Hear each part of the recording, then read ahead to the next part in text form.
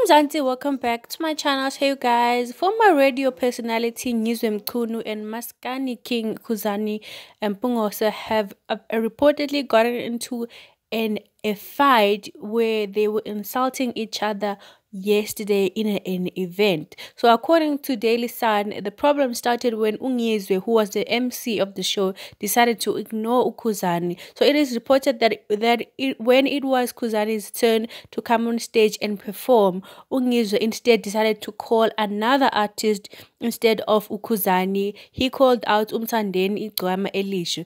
A source told the Daily Sun that the problem started when he decided to snub Ukhuzani. He was given a list of people who were going to perform, but he instead chose to ignore Ukhuzani and um, call out the next artist, which was Igwama Elish.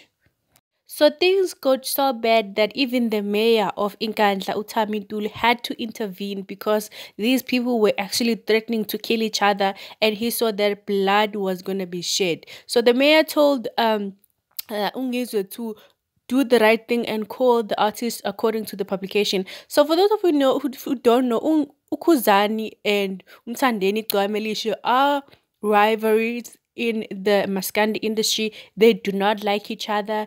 They absolutely despise each other. So this is what actually angered Ukhuzani is the fact that not only is uh is Ungizwe skipping him, but also he's calling out his number one rivalry into this Maskandi industry. But anyways, you guys, that is all the news that I have for you at this moment. I will see you guys on my next video. Bye.